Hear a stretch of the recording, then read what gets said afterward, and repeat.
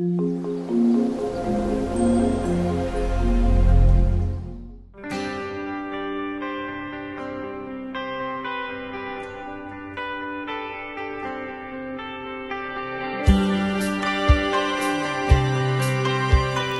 අද මම ඔයාලව මේ එකගෙන යන්නේ ලංකාවේ තියෙන ලස්සන තැනක් බලන්න.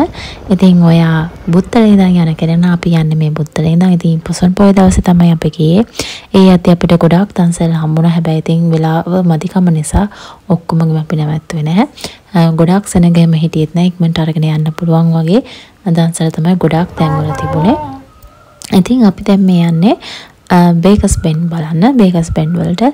ඉතින් අපි යන්න ඕනේ බෙලිහුල්ුවයට ඉතින් මේ අනතුරතුරදී ඉතින් දන්සලුත් වැඳගෙන අපි ගියේ. අපි බුත්තල ඉඳන් තමයි අපේ ගමන පටන් ගත්තේ. එතන ඉඳන් කිලෝමීටර් 87ක් තිබුණා. ඒ කිලෝමීටර් 87 දී ඉතින් අපි වැල්ලවාය ওই ටික පහු කරගෙන කොස්ලන්ද ඊට පස්සේ බේරගල ඔය දේවල් පහු කරන් තමයි යන්න ඕනේ. ඉතින් ඒ යන අතරතුරදී අපිට මේ ඈතින් පේන්නේ දියලුම දියැල්ල. ඉතින් ඒක හරිම ලස්සනයි ළඟට හරිම ලස්සනයි. ඉතින් හරිම ලොකුයි. අපි ඒ දියැල්ලත් බලත් එක්ක බලද්දි පොළොවේ ඉඳන් හරිම පොඩියට තමයි අපි ඔපේ ඕනේ. ඉතින් මේ වීඩියෝස් වලට වඩා ඒක ඇස් දෙකෙන්ම දකිද්දි තමයි ඒක ගොඩාක් ලස්සන පේන්නේ. ඉතින් අපි දියලුම ඇල්ල ළඟ ටිකක් ඉඳලා ෆොටෝස් වීඩියෝස් උත් අරගෙන ඊළඟට අපි මේ යන්න පිටත් වෙන්නේ බේකස් පෙන් වලට. ඉතින් අපි යන්න ඕනේ බෙලිහුල්ලුවෙන් යන්න ඕනේ. ඉතින් බෙලිහුල්ලුවෙන් නන්පෙරියල් හන්දියට ගිහිලා එතනින් කිලෝමීටර් 14ක් 16ක් විතර අපි යන්න ඕනේ. ඉතින් අපි යද්දි බලමු අපිට හම්බ වෙන ලස්සන තැන්, ඒ වගේම ලස්සන දියඇලි මේ හැම දෙයක්ම ඔයාලට මේ වීඩියෝ එකෙන් බලන්න පුළුවන්.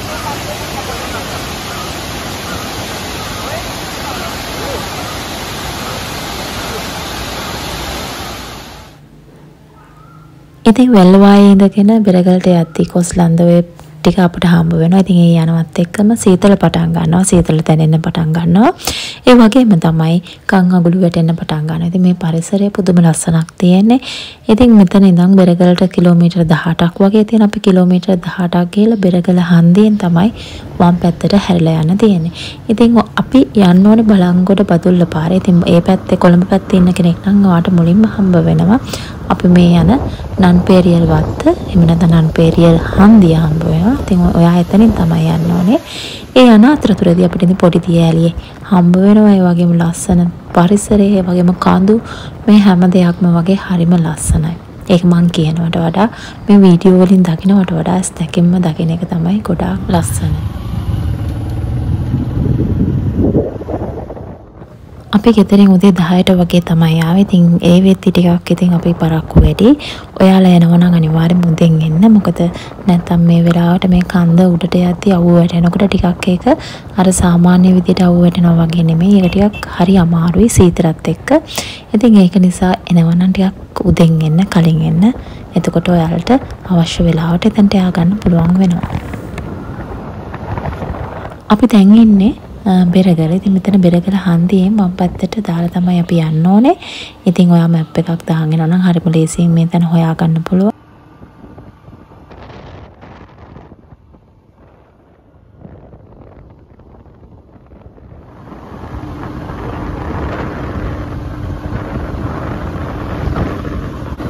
මට ඔයාලට මෙතන නන්පෙරියල් ජංක්ෂන් එක පෙන්වන්න බැරි වුණා. ඉතින් එතන බෝඩ් එකක් තියෙනවා ලොකු.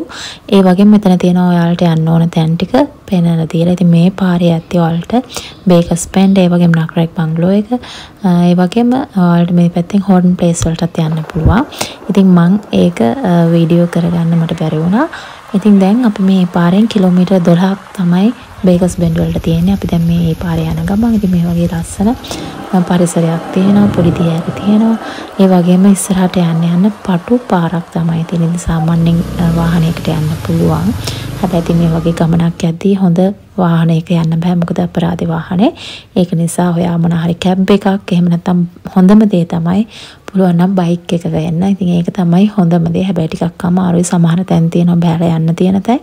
ඉතින් ඒ වගේ තැන් දෙක තුනක් ඔයාලට සෙට් වෙනවා. මෙතන අපිට පෙනුන්නේ නැතුණාට මෙතන ලොකු ප්‍රපාතයක් තියෙනවා. ඒ වගේම මෙතන පහළින් හිරිකටුවේ තමයි යන්නේ. ඉතින් ඒක මෙතනින් මට වීඩියෝ කරගන්න බෑ. ඉතින් දැන් අපි ආපහු අපේ ගමන පටන් ගත්තා. මෙතන මේ කඳු දෙකක් එකතු වෙලා තියෙන නිම්නයක්. ඉතින් මෙතනට කියන්නේ හිරිකටුවේ නිම්නය කියලා.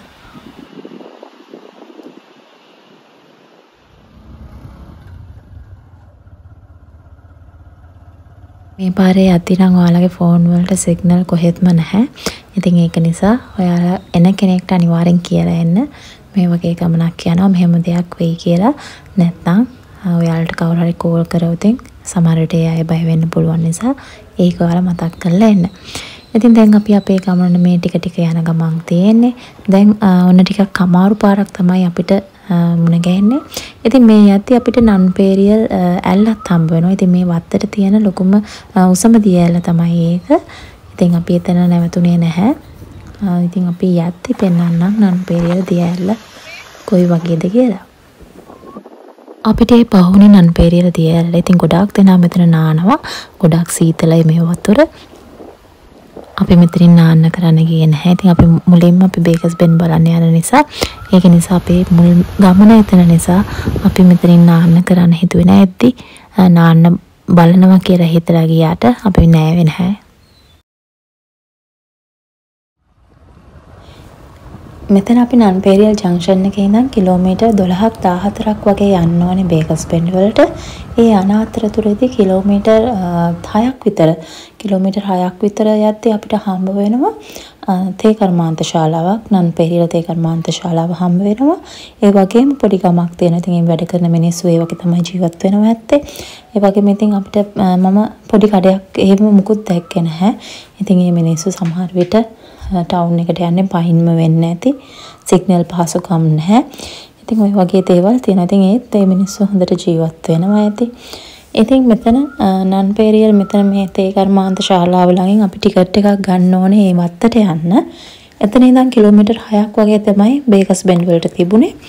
සාමාන්‍යයෙන් මෝටර් බයික් එකට නම් රුපියල් 500ක් වගේ ගන්නවා. 3 wheel වලට රුපියල් 1000ක් හරි 1500ක් වගේ තමයි මට මතක විදියට ඉතින් ඔය ගණන් වෙනස් වෙන්න පුළුවන්.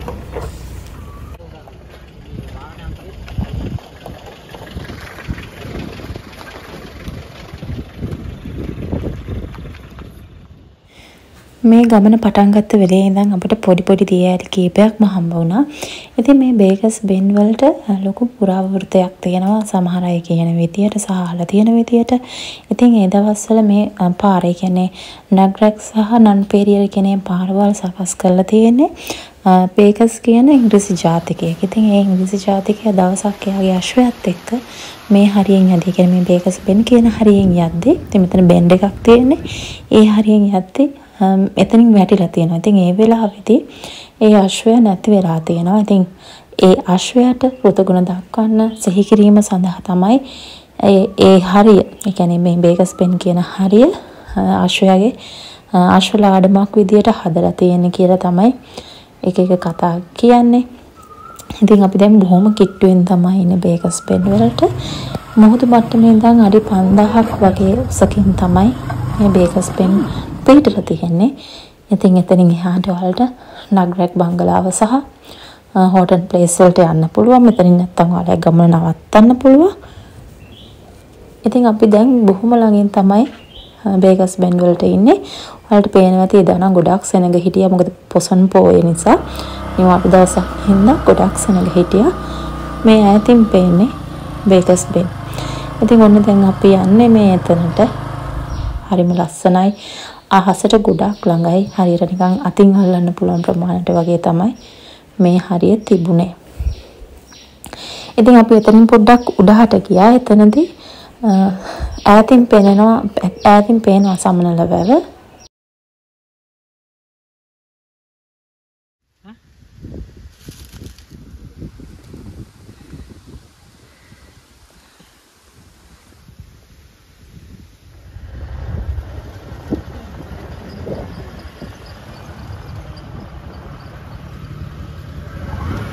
ගැන ඉතින් මම ඔයාලට විස්තර කියන්න අවශ්‍ය නැහැ. ඔයාලට මේ වීඩියෝ වලින් මේ දේවල් පේනවා ඇති. ඉතින් ඊට වඩා ගොඩාක් ලස්සනයි. මෙතන ඇත්තටම ගියා නම් ඉතින් ජීවිතේ එකපාරක් හරි මේ වගේ තැනක් බලන්න ඕනේ. මොකද හැමදාම යන්න අවශ්‍ය නැහැ. එක සැරයක් ගියාම ඇති. ඉතින් එදා ගොඩාක් සෙනඟ හිටියා පොය නිසා ඉතින් ගොඩාක් අය වීඩියෝස් ගන්න, ෆොටෝස් ගන්න මෙතනට ආවතින් අමතක කරන්නේ නැහැ. ඉතින් මේ විදිහට තමයි අපි එදා පේකස් පෙන් වලට ගියේ. ඉතින් අපිත් එක්ක ගියා අපේ තව හස්බන්ඩ්ගේ යාළුවෙක්. ඉතින් අපි දෙන්නත් දෙකොල්ල තමයි ගියේ. ඉතින් දැන් අපි මෙතන ටිකක් ඉඳලා වීඩියෝස් අරන් ෆොටෝස් අරන් දැන් මේ යන්න හදන්නේ. අන්න ඒ විදිහට තමයි අපි ඉතින් බේකස් බෙන් වලට සමුදුන්නේ හරිම ලස්සන තැනක්. ඉතින් මෙතනින් යන්න නම් හිත දුන්නේම නැහැ. ඒ වුණාට ඉතින් රැ වෙන නිසා ගෙදර යන්න ඕන නිසා ඉතින් අපි ඉක්මනට ආවා.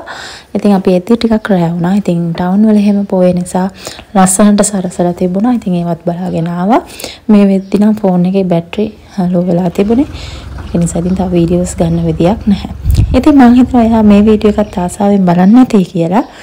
ඉතින් මේක මට වෙනස් වීඩියෝ එකක්. ඉතින් මොකද ඒ වගේ තැනකට ආය යන්නේ නැති හින්දා මම මේ වීඩියෝ එක මගේ channel එක ඔස්සේ අරගෙන ආවේ. එහෙනම් ඉතින් ආය අලුත් වීඩියෝ එකකින් මුණ ගැහෙනකම් ඔයගොල්ලෝ හැමෝම පරිස්සමින් සතුටින් ඉන්න.